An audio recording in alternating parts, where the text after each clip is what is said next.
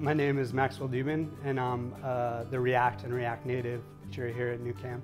I uh, had a job in federal law enforcement for eight years, working cyber crimes. In my job, after uh, that many years, it just felt kind of stale, and I missed that feeling of just like uh, learning and using your brain in that kind of way. I remembered coding from um, actually a high school course I had taken in C++.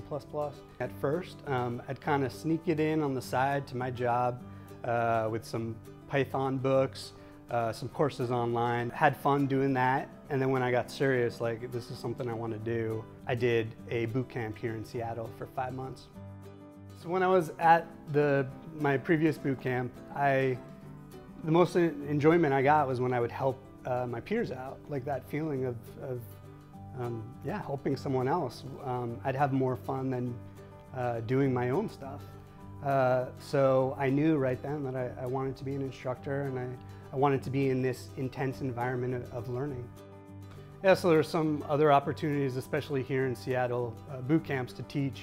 Um, I chose Nucamp uh, because of the flexibility. People don't have to quit their jobs um, and the price is awesome.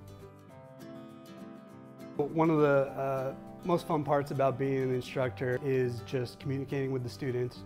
Uh, we have a Slack group that's super active, that's separated into um, the different specialties, like React and React Native specifically. So they're going through the assignments during the week. Uh, we're chatting, people are sharing code, and it's a real community feel and they get the assignments done and then Saturday we have our workshops. Yeah, I, I love working with students at the workshops. Um, that personal connection, kind of the community uh, struggling to all get through the code challenge of the day and helping other students and then seeing other students help each other is really fulfilling. So yeah, students uh, should expect to, to work hard.